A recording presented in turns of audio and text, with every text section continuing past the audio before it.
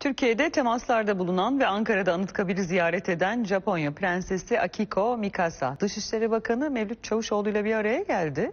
O görüşmede Japon prensesin tırnaklarından birine Türk bayrağı, diğerine de Japonya bayrağı yapması dikkat çekti.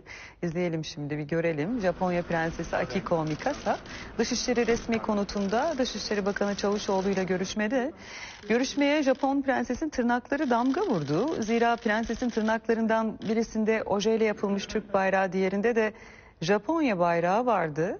Prenses daha sonra Türkiye Büyük Millet Meclisi Başkanı Binali Yıldırım'la da bir araya geldi. Prenses Mikasa gün içinde Anıtkabir'i ziyaret edip mozeleye çiçek bırakmış sonra da Türk-Japon Vakfı Kültür Merkezi'ni ziyaret etmişti. Prenses vakfın 20. kuruluş yıl dönümü nedeniyle de bir de hatıra ağacı dikmişti.